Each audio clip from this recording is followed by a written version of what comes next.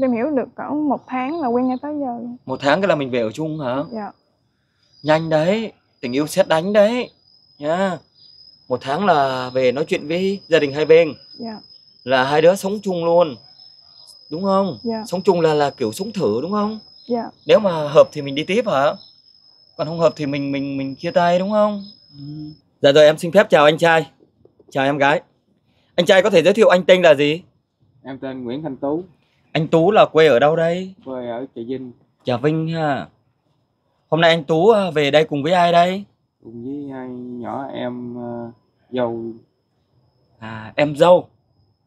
Là nhờ anh em đội hiệp sĩ Nguyễn Thanh Hải giúp đỡ gì đây anh? tìm giùm giúp giùm em đi ờ, hôm nay 4 ngày mà không có tin tức gì. Tìm em là em trai mình hả? Dạ. Em ruột mình. Dạ. Em ruột mình họ tên đầy đủ là gì anh? Nguyễn Hoàng Tấn, Năm nay em của anh là nhiêu tuổi rồi? 23 tuổi, 23 tuổi. Bỏ đi cụ thể ngày nào anh trai? ngày 27 27 tháng à, tháng 6. tháng 6. Vậy là 4 ngày rồi hả? Dạ. Hôm nay mùng 1 tháng 7 rồi. Dạ. Đi là đi tại đâu?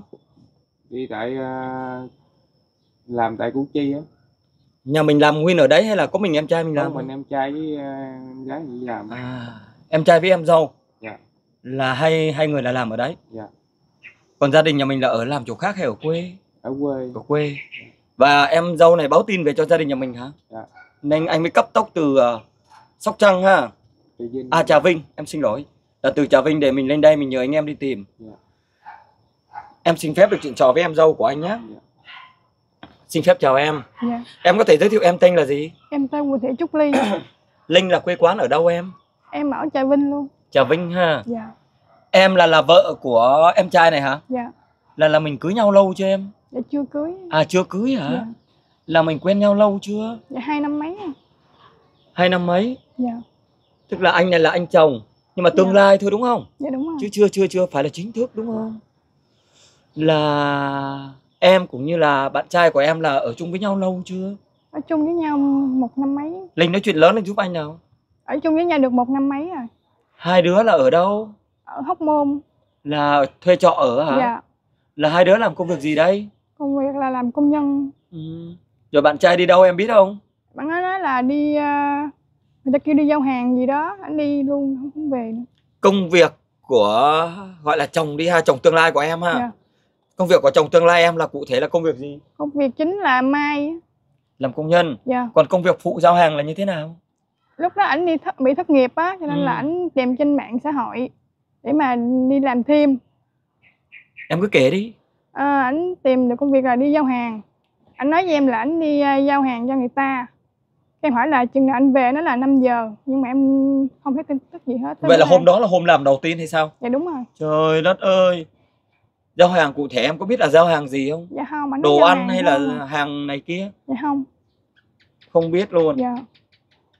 Khi mà mà mà người yêu của em là tìm việc làm đó đặc biệt là trên mạng hả? Dạ. Về người yêu có chia sẻ là mức lương bao nhiêu và giao hàng ở khu vực nào không? Dạ cũng không có nói với em luôn. Trời Nó là đi giao hàng thôi. Trời đất ơi.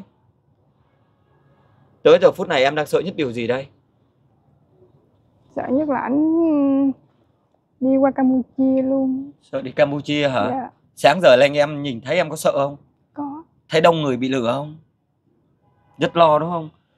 Ly năm nay là Ly nhiêu tuổi rồi đây? Dạ em 20 ạ. 20 hả? Mà Dạ. mình quen được hơn 2 năm rồi hả? Dạ. Ừ. Mình sắp dự định đám cưới cho em. Dạ cũng sắp rồi. Sắp đám cưới. Mình mình có làm đám nói, đám hỏi gì chưa? Dạ có giáp mặt hai bên rồi. Ừ. Là định ngày rồi đúng Dạ. không? Và bây giờ là hai đứa đang làm ăn để à, kiếm vốn hả? Dạ. Cái tính tình của người yêu em thì như thế nào đây? Anh hiền á. Nhậu không? Dạ cũng có nhưng mà ít lắm. Thuốc thang, cà phê, pháo không? Cũng có nhưng mà ít. Có đam mê chơi bóng banh không? Dạ không. Không hả? Có nhiều bạn bè bên ngoài không em? Dạ cũng có. Ừ, có hay đến nhà mình chơi không? Dạ không, anh đi làm Sài Gòn là chỉ đi làm về rồi ngủ không mà chứ không có đi đâu chơi hết. Làm về rồi à, ở với vợ tương lai Dạ. đúng không? Hai đứa cái mức thu nhập là có đủ sống không? Dạ đủ.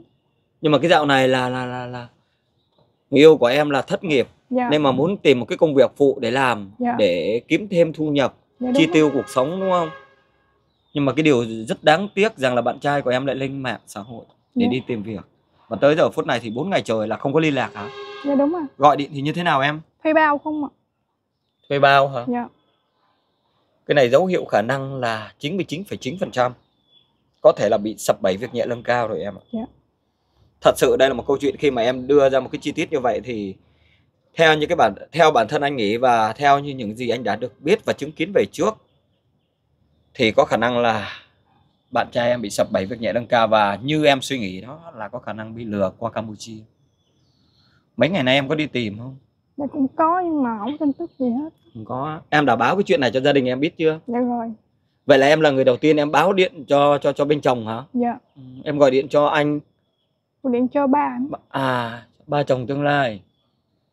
Khổ thật sự. Em hãy nói một cái điều gì đó tình cảm nhất với người yêu của em, hy vọng người yêu của em xem được video này sớm báo tin về cho em cũng như là cho gia đình chồng tương lai của em. Em lên tiếng đi.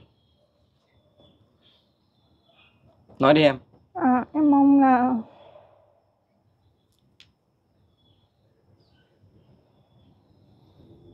Tâm tư, tình cảm gì thì em nói đi nhá.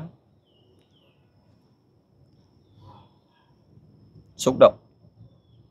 Bình tĩnh lại em gái nha, mình bình tĩnh lại nha. Cố gắng lên nào. em mong là coi được video này thì ờ, anh liên lạc với gia đình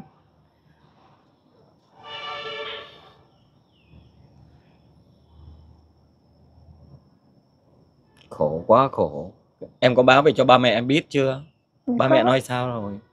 ba mẹ nói là lên nhờ anh Hải để mà tìm kiếm phụ chứ Ừ. giờ dưới quê thì ờ, không có ai tìm kiếm được hết Trước giờ người yêu ở với em có đi như tình trạng như vậy lần nào chưa? chưa Chưa hả? có đi thì là rủ em đi theo hoặc là đi thì có về chứ không có đi như hôm nay Cái thời gian gần đây là em có tạo cái áp lực gì cho người yêu em không? dạ không Không có áp lực gì đúng không? dạ Nhưng mà mức lương thấp cũng như là thất nghiệp nhưng vẫn đủ để ăn uống trả tiền phòng chứ đúng không? dạ tại vì công ty cho nghỉ mấy ngày cho nên là anh muốn đi Ừ. giao hàng để kiếm Kiếm cái- thêm ha, dạ. gọi là một người đàn ông cầu tiến, dạ tranh thủ cái thời gian rảnh rỗi để đi kiếm tiền dạ để cho cuộc sống tốt hơn. Nhưng mà rất tiếc rằng là người yêu của em thì lại tìm không đúng chỗ, không đúng nơi. Bởi vì hiện nay là tì- cái tình trạng mà lên mạng để tìm kiếm việc làm và bị sập bẫy việc nhẹ lương cao rất nhiều, ngày một càng nhiều. Không riêng gì trường hợp của bạn trai em đâu, mà rất nhiều các bạn trẻ khác bị sập bẫy. Nên mong rằng video này cũng là một cái lời cảnh tình cảnh giác tới tất cả các em cũng như các anh, các cô, các chú, các chị xem để mà cảnh giác tránh các trường hợp là lên mạng để tìm việc làm để rồi sập bẫy. Thật sự đó là cái điều rất đáng tiếc. Em à, bây giờ à, em đang mong muốn nhất điều gì? em muốn là ảnh liên lạc với gia đình với lại là ảnh về đi chứ ba mẹ ảnh trông lắm Em tới giờ phút này em nhớ nhiều, dạ lo lắng đủ điều đúng không? dạ Sắp làm đám cưới nữa hả? Trước kia là là là là, là Ly là quen bạn trai ờ, qua cơ duyên nào? dạ là do anh chồng em giới thiệu cho À, em Là do anh hả? À, anh làm mai hả? Ủa hay hả? À làm mai rồi hai đứa tìm hiểu hả? dạ Hai đứa tìm hiểu lâu không? tìm hiểu được cỡ một tháng là quen nhau tới giờ Một tháng cái là mình về ở chung hả? dạ Nhanh đấy, tình yêu xét đánh đấy nha. Một tháng là về nói chuyện với gia đình hai bên dạ là hai đứa sống chung luôn. Đúng không? Dạ. Sống chung là là kiểu sống thử đúng không? dạ Nếu mà hợp thì mình đi tiếp hả? Còn không hợp thì mình mình mình chia tay đúng không? Ừ. Hiện nay cái tình trạng giống em rất nhiều mà. Cái đó cũng bình thường em ạ. Nhá. Rồi anh trai bây giờ anh hãy nói một cái điều gì đó với lại à, em trai của mình đi. Hy vọng em trai của anh đang ở phương trời nào đó xem được video này dù cho tới giờ phút này à, bị sập bẫy việc nhẹ lương cao thì cũng phải gọi điện về báo tin cho gia đình để gia đình có cách có hướng để cứu em trai anh về. Anh nói đi anh. Ờ, em có xem được cái video này á em hãy liên lạc về gia đình ba mẹ nhớ em nhiều lắm Khổ thật sự nhà anh là được mấy anh em đây? là có hai anh với hai đứa em Em em trai này là thứ mấy đây? ở úc Út hả? Bà con miền Tây nhà mình thường thường có câu là giàu thì uh, út ăn hả? Phải không anh? Khổ thì út chịu gì đó đúng không? Nghe tin này thì ba mẹ ở dưới quê là như thế nào rồi anh trai? Sốc lắm đúng không ạ?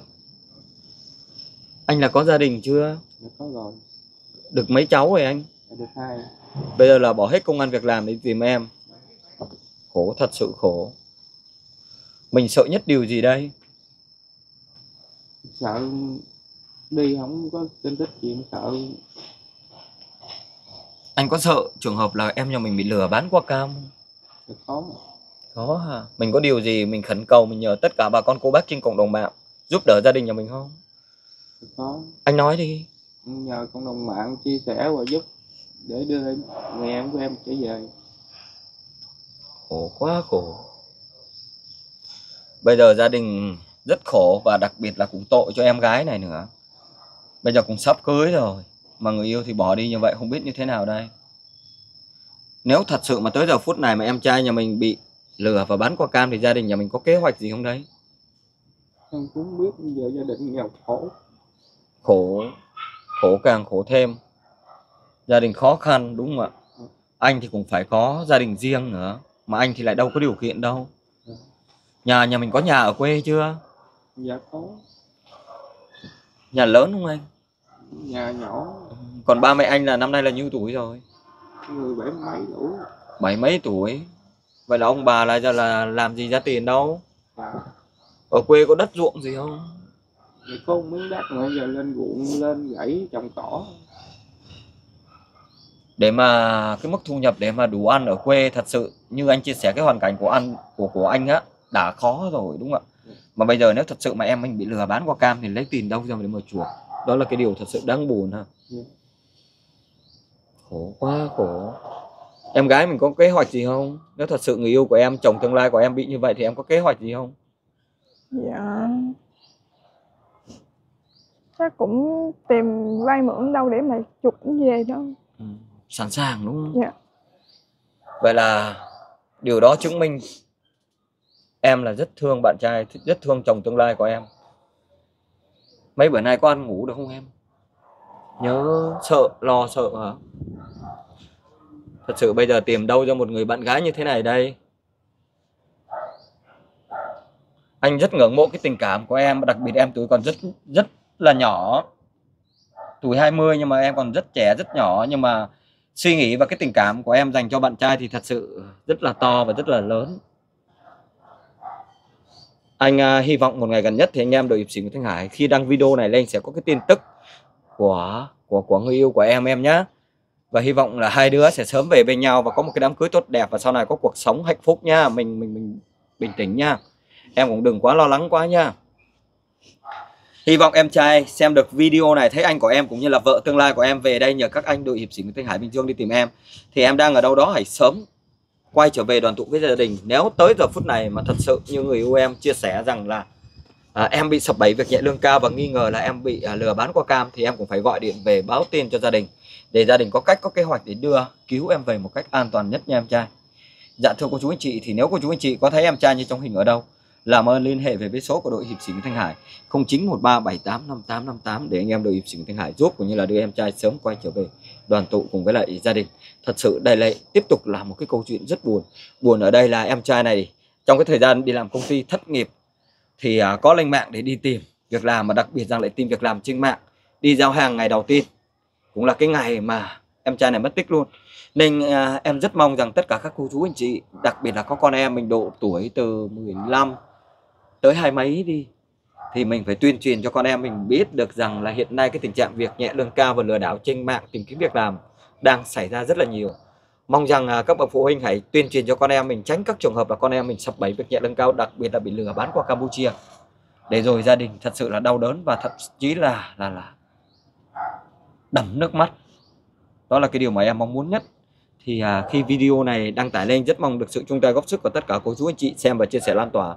Hy vọng một ngày gần nhất anh em sẽ tìm kiếm được cái thông tin chính thức của em trai này ở đâu để giúp em trai này sớm quay trở về đoàn tụ cùng với lại gia đình. Em gái còn điều gì chia sẻ không em? Dạ.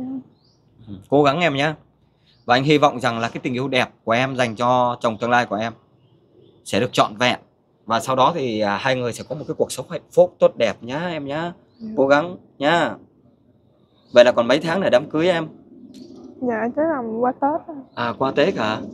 Qua tết thì cũng phải còn à, sáu bảy tháng nữa bảy tám tháng nữa ha. cố gắng lên nha. Mình phải vững niềm tin nha. Anh trai có điều gì chia sẻ không anh?